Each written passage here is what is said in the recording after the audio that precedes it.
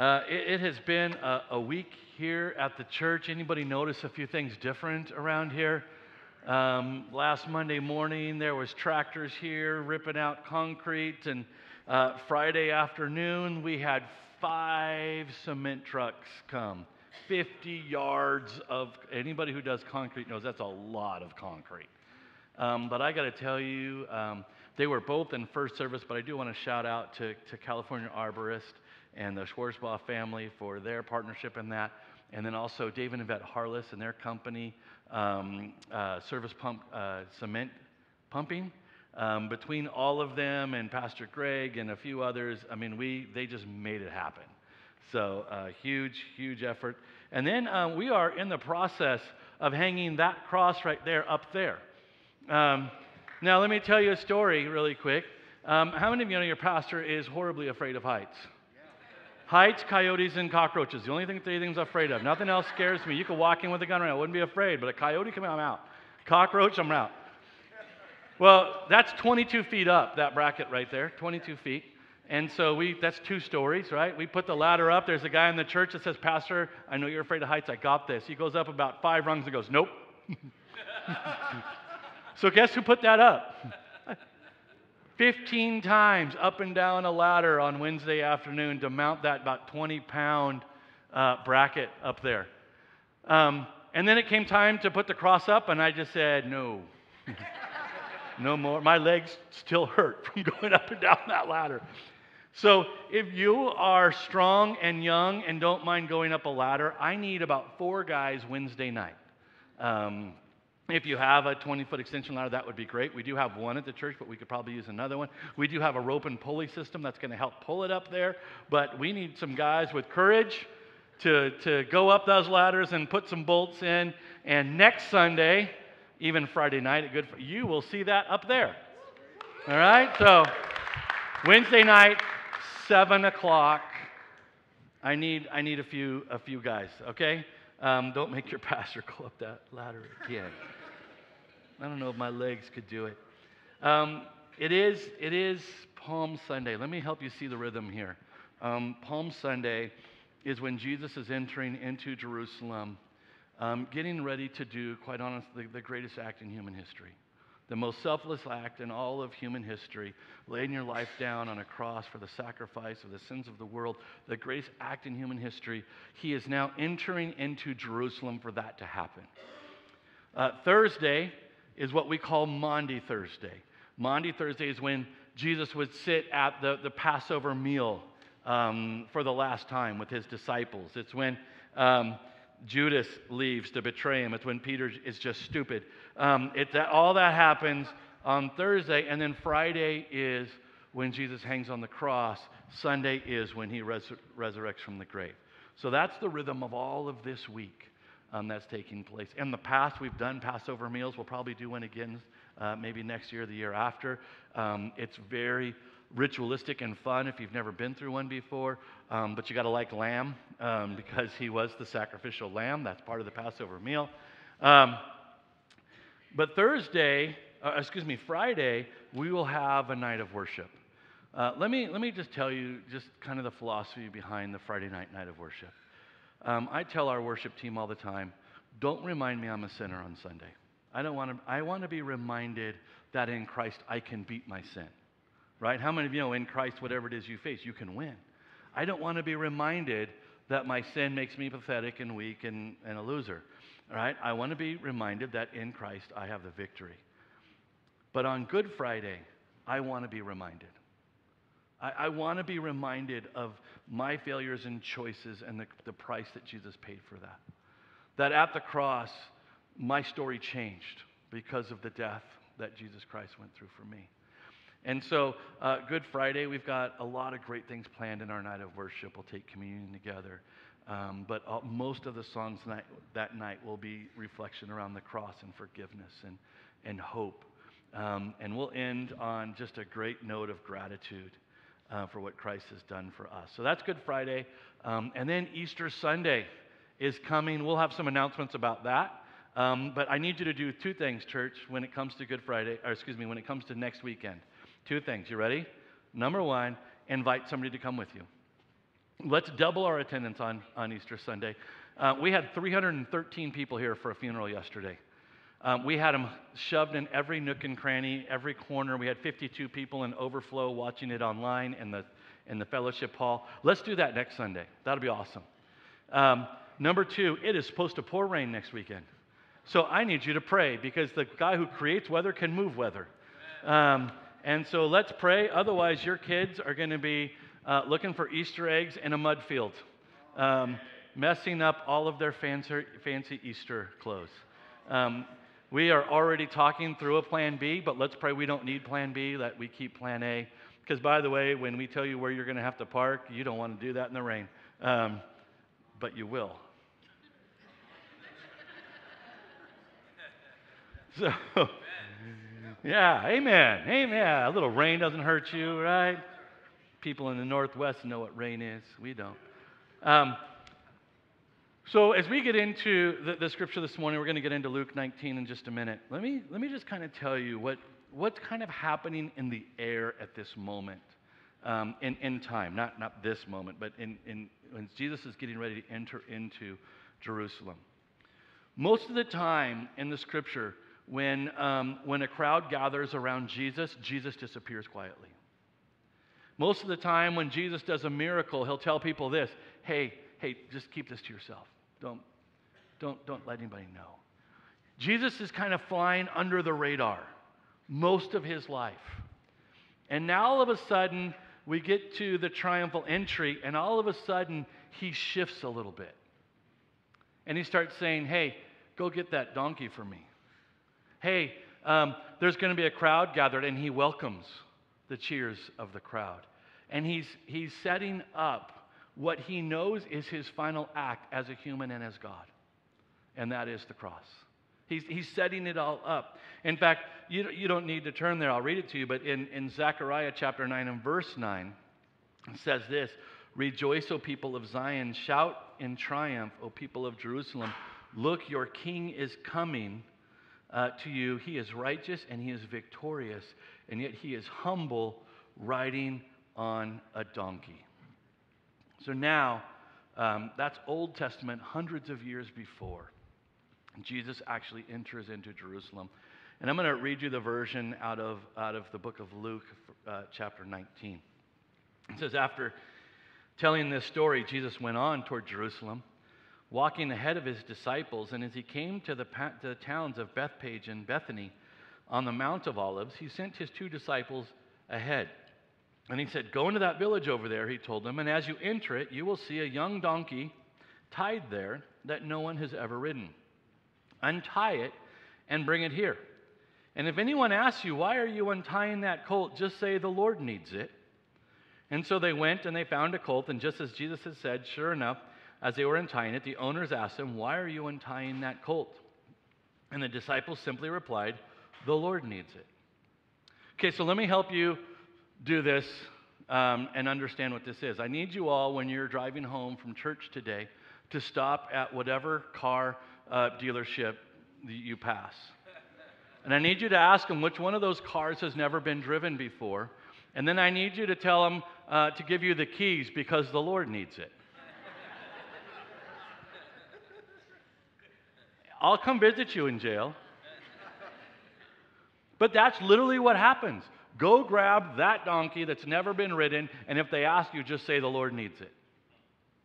Well, the Lord needs it. Right? Next time I get pulled over for speeding, well, the Lord told me to. No, right?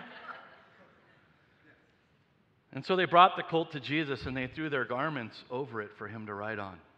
And as he rode along, the crowd spread out their garments on the road ahead of him.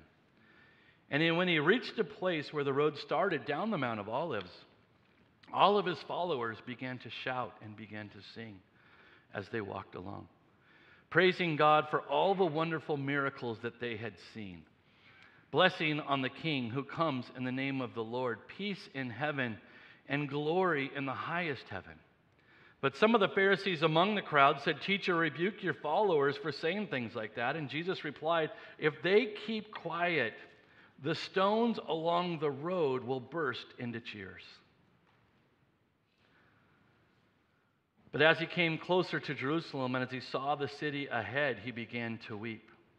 How I wish today that, that you, of all people, would understand the way to peace. But now it is too late, and peace is hidden from your eyes. Before long, your enemies will build ramparts against you, and your walls will encircle you and close in on you from every side. They will crush you into the ground, and your children with you, and your enemies will not leave a single stone in place because you did not recognize it when God visited you. I, I gave this message this morning a title, and I'm calling it A Shirt, a Shout, and a Tear. A shirt, a shout, and a tear. I, I don't know about you, but I began to think about if I were getting ready to enter into doing the single greatest act in all of human history. If I was coming into town to do the most significant thing on the planet ever, like how would I enter? A couple weeks ago, I was driving home from a meeting. I was driving down Glenoaks Boulevard up in Glendale, and a brand new Rolls Royce pulled up next to me. I, I don't know what kind it was, but I, I was in my truck, and it was as big as my truck, and it was gorgeous. All black, blacked out, black tinted windows, 22 inch wheels. Um, and, and I was cruising along this thing for a few minutes, and I was like, that's how I'd roll. that's how I'd roll. And then I, I got out my phone and, and I Googled, like, hey, what Rolls Royce is this? And basically, here's what Rolls Royce said back to me if you have to ask how much, you can't afford it anyways. right? I mean, Rolls Royce, if you go to their website, they don't even put their prices on there. In fact, you don't even get to like build, you know, like you can go to Honda, you can build your car, and then they'll tell you how much. It, you don't get to do that with Rolls Royce. They interview you whether you're good enough for their car. I, I didn't even pass like question one. And I began to think like, how would I enter? if I was coming in to the, do the single most greatest act in all of human history, I want you to see a video because this, in my mind, is how I would enter the town.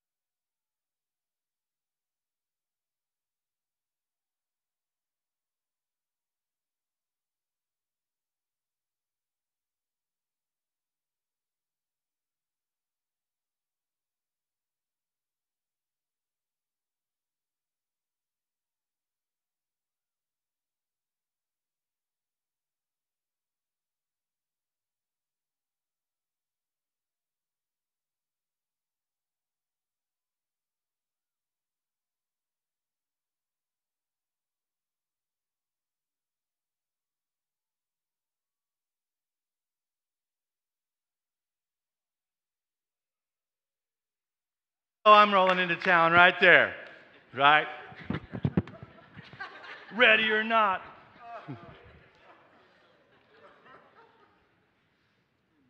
And yet, the reality is, Jesus didn't roll into town on a, in a Rolls Royce. He didn't roll into town with thunderous music and hype. He comes in on a donkey. A donkey. See, in, in by biblical times, only the wealthy, only the powerful, only those who wanted to be noticed, only those who wanted position and influence, they were the only ones who rode horses. But servants, beasts of burden, were the ones that came in on donkeys. And Christ chose to come in on a donkey. A donkey is a symbol of service, it's a symbol of peace, and it's a symbol of humility. And so while today, I would probably roll in in that Rolls Royce that I saw Jesus would probably roll in in a Honda.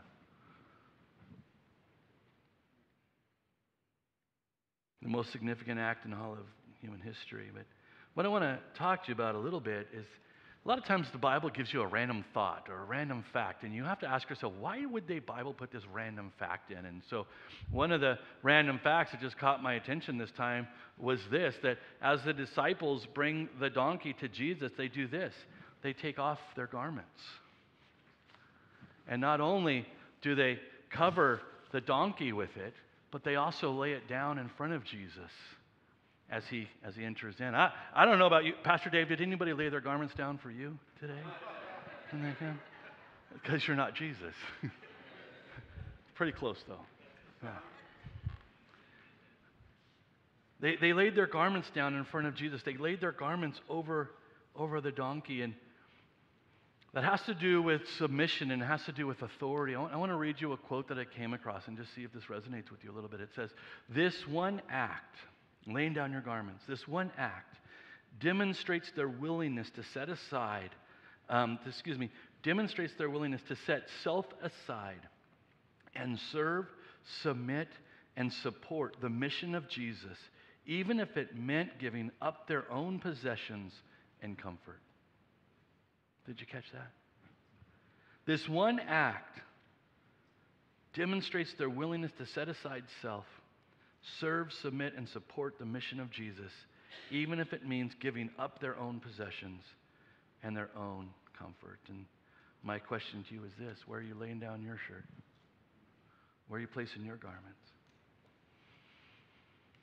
And then it says that as they entered in, as Jesus enters in, the, the crowd begins to shout and they begin to sing and they say things like blessing and peace and glory. But what caught me this week is this that they're shouting these things to Christ. And the Bible tells us this because of what they had seen him do. And it's interesting that it's really easy for me to praise the Lord when he does something for me. But in this particular case, they're praising him for what they have seen him do in others. I have seen Jesus do this. And because of that, I am shouting and I am singing. I am shouting and I'm singing because of what God, I have seen God do. There's a song by Brandon Lake and Cody Carnes. If you're not familiar with it, I highly recommend whatever stream you listen to. Just type in the song, Too Good to Not Believe. Too good to not believe. Let me read you the bridge on that song. It says, We've seen cancer disappear. We've seen broken bodies healed. Don't tell me he can't do it. We've seen real life resurrection. We've seen mental health restored. Don't you tell me he can't do it. We've seen families reunited. We've seen prodigals return. We've seen troubled souls delivered. We've seen addicts set free. Don't tell me he can't do it. We'll see cities in revival. We'll see salvation flood the streets. We'll see his glory fill the nation like the world has never seen. Don't tell me he can't do it, because I know he can. When it comes to the crowd praising and shouting, the scripture tells us this they're, they're shouting and singing for what they have seen him do. And I began to think about in my own life the things that I've literally seen with my own eyes. I was in Bible college. I prayed for a young man. His leg grew two inches. I watched his leg grow. Watched it. I've seen it. I can tell you in this audience how many ladies were told by doctors, you will not give birth to a child, and they have babies in the nursery right now. I've seen it. I've seen marriages that stood in front of us, said, Pastor, we're done. We hate each other. Our marriage is in the pits. And we prayed, and they worked, and they're sitting in this audience today. I've seen it. I've seen it. I've seen cancer healed. I've seen it. I've seen people where doctors said, You've only got this much time to live, and yet they're still alive today. I've seen it. I've seen addicts who've said, Pastor, I can't quit this. I've seen them quit. I've seen Jesus do it.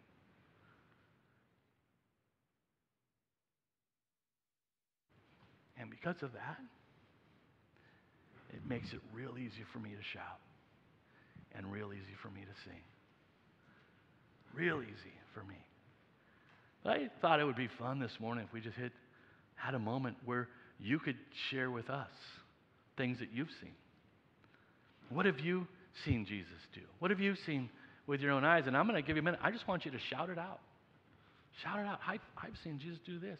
We had some great stories in first service. And so, my question what have you seen? Go ahead and just somebody shout out. What have you seen Jesus do?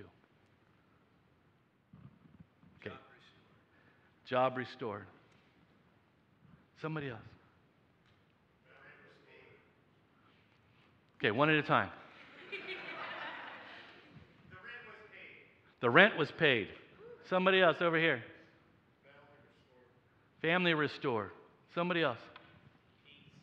Peace. Peace. Somebody else. Healing. Healing. Somebody else. Free from alcohol. Come on. Somebody else. Huh? Wombs opened. Housing. Say it again. Improved vision. Amen. Amen. Somebody else. Came back from the dead. Come on. Don't tell me he can't do it. And you know what? When you get around people who will say, This is the miracle that God did for me, it makes it real easy to shout, doesn't it? Makes it real easy to sing. So, church, I know that uh, Bailey already had you do it, but will you do it for me again? For these things that were just shared by our own church family, can we just give a huge shout out to Jesus? Somebody just give a hallelujah, clap your hands, shout something. Come on.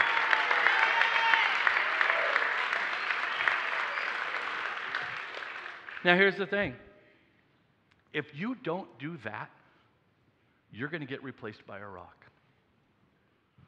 And I don't want a rep- rock replacing me. And so, church, let me ask you just this question Are you silencing your shout? Are you silencing your song? And lastly, is, is a tear. See, Jesus enters Jerusalem and he weeps. And the reason he weeps is because he says this You'll never know the way to peace. You'll never know the way to peace. And what's interesting to me when I began to read that is literally two verses above that, the crowd is shouting peace to Jesus, and two verses later, Jesus is weeping because people will not know peace. He's weeping because they'll not know peace. And here's what it comes over to I was here, like the peace I give, the world can't give. I'm here among you, and you rejected me. And because of that, you'll never know peace. You'll never know peace. And you all know this, right? There is a peace that Jesus gives that the world can't give. John 14 tells us that. And you can try. You've seen it. Your friends, your family members. You can try to find peace in a bottle. You can try to find it in a pill. You can try to find it in adrenaline. You can try to find it. But unless you know Jesus, you will not know peace. And so Jesus weeps over that. He literally Three times in the Bible is recorded that Jesus weeps. Three times. One of them is for people who will never know peace because they rejected him. He'll never, you'll never know peace. And my question is this What do you weep over? See, I truly believe this that God has given every single person in this room a holy passion for something. God knows every single need in this world, and He's given somebody a passion to meet that need. If I was God, I would do it different, but thankfully I'm not. I don't know that I would use people, but God does. And here's the good news He just uses average, ordinary, broken people. And one of the things that I am absolutely convinced of is this the Bible is clear that the role of the church is to do three things Number one is to reach the lost. That's next Sunday, by the way. It's one of the ways we do that. Number two is we're to make disciples. We've talked about that a lot, being on character, being having the character and mission of Jesus. And number three is to equip the saints to do the work of the ministry. So part of my job is to teach you to do my job. So would anybody like to come on up and finish this this morning? Mark, you ready? You coming up? Now, here's the thing you might not ever walk up on stage, but can I tell you that this part is only about this much of my job? See, I, I get to walk out there I think, 8,000 steps the other day of guys putting concrete in. I get to sit with some of you over a meal and find out the things that are breaking your heart, and I partner with you in prayer. Uh, I get to, to walk over the victories of life when some of you uh, show me your newborn baby, and then I have to be, I get to be in the room with you when you say goodbye to loved ones. Do you know all of you could do that part of my job? And God has given you a passion for it. God has given you a passion for it. And what has God given you a holy passion for? What, what moves you? For some of you, it's injustice. For some, it's grief. Some, it's addiction. Some, it's single moms. Some, it's disaster relief. Some, it's the unborn. For some, it's the unhoused. Robin has a huge heart for the foster care system. What hits your heartstrings? What hits your heartstrings? And, and my question, and we're going to end in just a minute with this, is how do you turn your weeping into your ministry? How do you turn your weeping into your ministry? The very thing that God has given you a special heart for, how do you turn that into something where you can make a difference? And so, if I'm to equip the saints for the work of the ministry, let me tell you what ministry is. It's, my definition is pretty simple. Ministry is to see a need and meet it. So, when you see maybe the, the elderly who's maybe struggling with their, their grocery cart get to their car and you stop and you help them, that's called ministry. Right? When you are driving down the road and you see somebody who's got a flat tire or car trouble and you, you stop and help them, that's called ministry. And, and so, how do you turn your, your passion, your weeping, how do you turn that into ministry? I, love uh, it because I, I, shared a story in first service, but I'm going to share you a different story in this service because in first service was Kathy Maxinoff. And if you don't know who Kathy Maxinoff is, you'll know this. Kathy raises guide dogs. And right now she's got a dog named Skip. He even has his own Instagram page. and, and Skippy, who's a baby Labrador, but already about this big, will one day be a guide dog. And so we were talking because um, Kathy was my neighbor when my kids were little. And Kathy used to sneak my son to the fish store. And he would come home with a new fish tank and all kinds of fish. And she never asked our permission. you know how many animals I got from Kathy? But we were talking, and she said, Pastor, that, that was my story because when I gave my life to Jesus, I had a love for animals and a love for people, and God had, showed me how to put both of them together. I think she's raised nine. And she raises them and to give them away. And she began, even after first service, to recount to me where some of her dogs are. And most of them I've, I've been there when she's raised them. And she said, Oh, one of our veterans who was actually in Saddam Hussein's home when they caught him, but who was shot. That dog is now a care dog, comfort. Um, she's got dogs that she's raised that sense when your blood sugar is low for those who are diabetic and can alert you. She's raised dogs for people in wheelchairs that know how to open doors and turn on lights and put on your socks. I'm trying to teach my dog how to do that.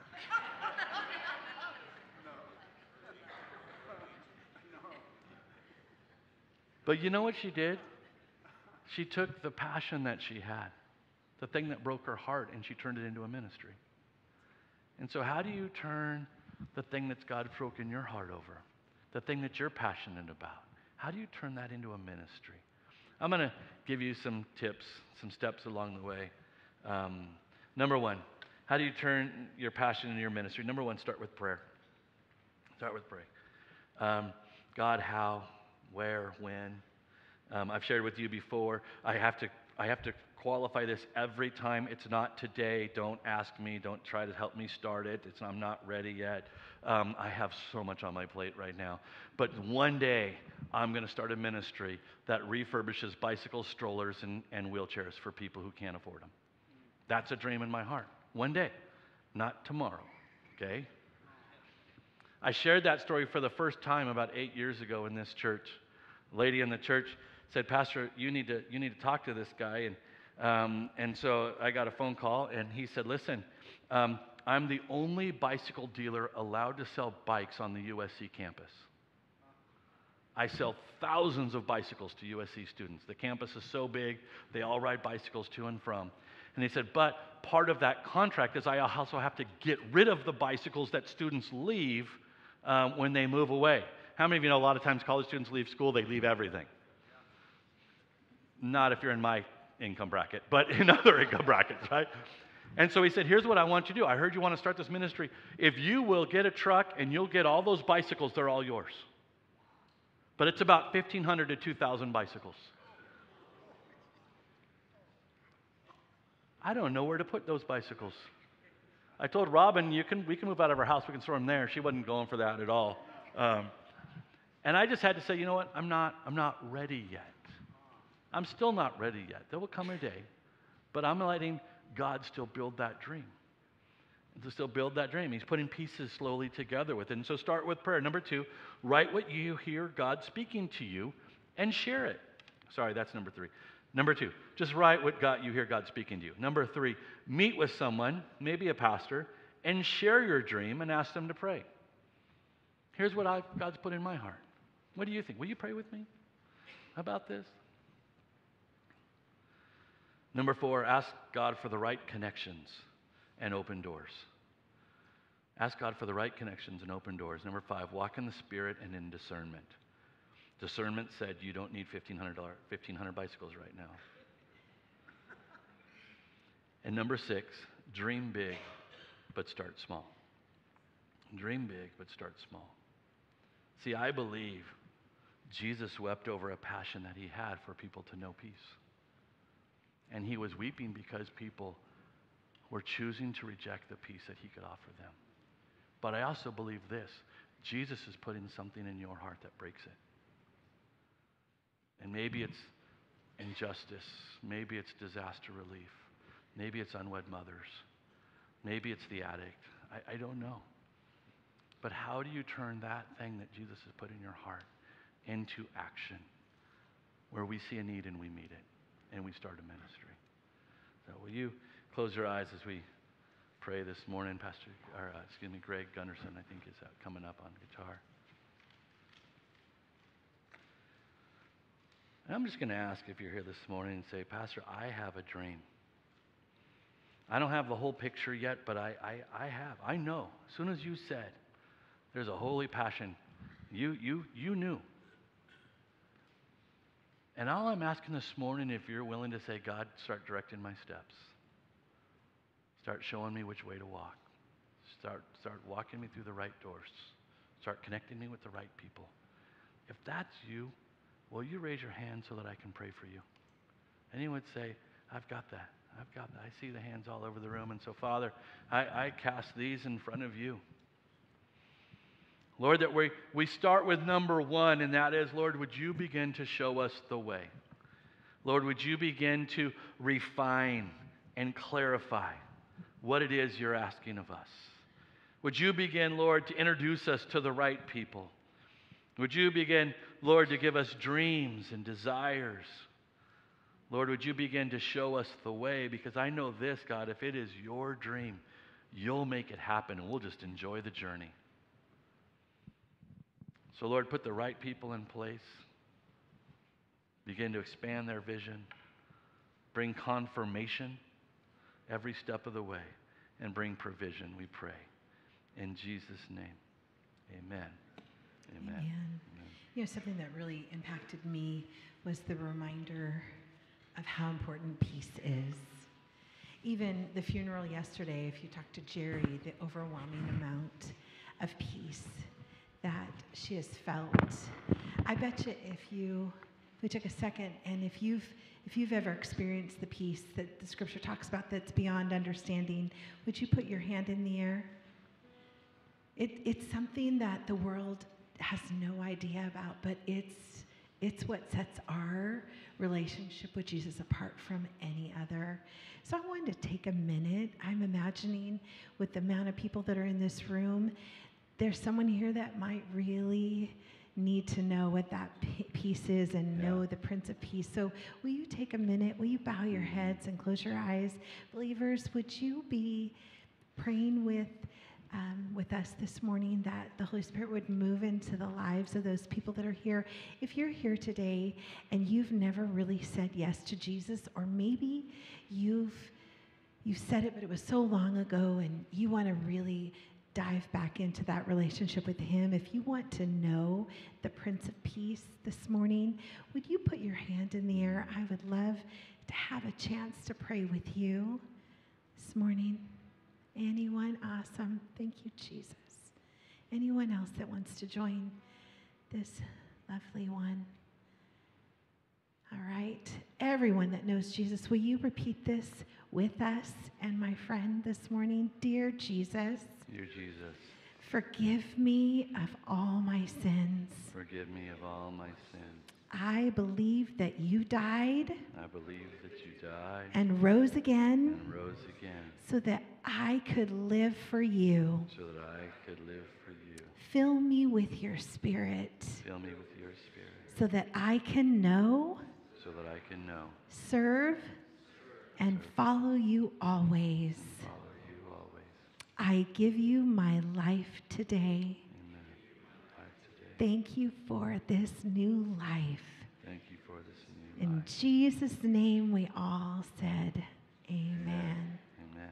Amen. Well, next Sunday is Easter. I will promise you it's going to be a packed house, both services. So you'll want to plan ahead. Um, we are asking that you of reserve our best parking places for our guests. And so, how many of you count your steps? How many of you like open your phone to see? Oh, come on. How many of I you have do. Fitbit and Apple? See, on. come on. Um, I'm going to tell you how to get 664 steps next week. How many? Oh, 664. Um, we have reserved the parking lot. You're going to see uh, somebody driving there at um, the Lowell Joint School District just down the street. It is 331 steps um, from there to here. Um, so I will get you 660 steps if you park there. We also have a shuttle that will be running. So if you park there and you don't want to walk 330 steps, maybe it might be raining. Um, we will have a shuttle that'll pick you Look up. at his speed walking. Dave Go, can speed walk. Um, You didn't know it was a power walk, did you? yep. Look at that. Look, he just passed the the um, the offices, and now he's gonna. You'll recognize this when you go. And then here's that housing track. Right Yeah. after the housing track is the school next door. Wait, watch a, a, a car almost hits him coming Oh, out of the school. Ready?